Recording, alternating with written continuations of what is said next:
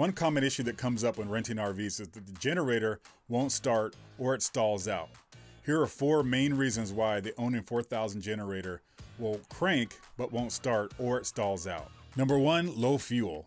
When the vehicle fuel level falls below a quarter tank, all fuel is cut off from the generator, causing a no start or stall. Number two, oil overfill. If the oil level exceeds the recommended fill level, it can leak into other sensitive sections of the engine, causing malfunctions and a shutdown. Number three, low oil. In some models, low oil will trigger a shutoff sensor that will automatically kill the engine in order to protect it from damage. And finally, a bad fuel pump can prevent sending fuel to start or run the generator, causing a no start or stall. So when priming the generator, if this sound is not heard, then it's likely the fuel pump has failed and it will need to be replaced.